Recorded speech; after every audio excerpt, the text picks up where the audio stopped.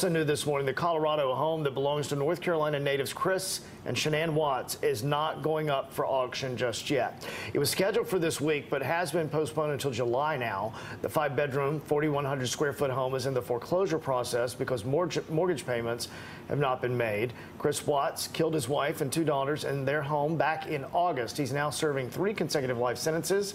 The bank is also working closely with Shanann Watts' family right here in North Carolina and exploring all options concerning the home.